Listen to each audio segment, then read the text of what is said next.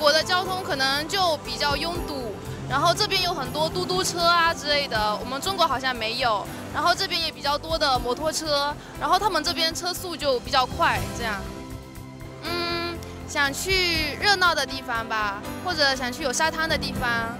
嗯，因为因为那边比较温暖吧，因为我们在国内的春节都是冬天比较寒冷，然后嗯，如果有沙滩有海水的话，可能看起来不太一样。泰国的春节，嗯，